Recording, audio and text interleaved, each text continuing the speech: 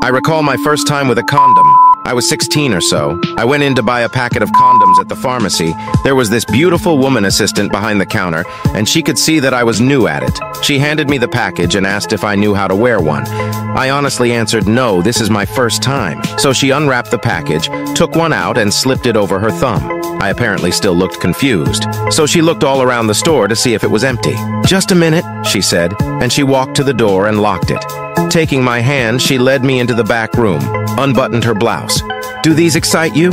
She asked. Well, I was so dumbstruck that all I could do was nod my head. Well, come on, she said, we don't have much time. So I climbed on her.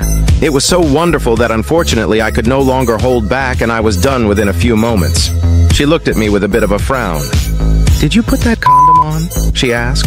I said, yes, I surely did, and held up my thumb to show her. She fainted. That's how I met your mother's son.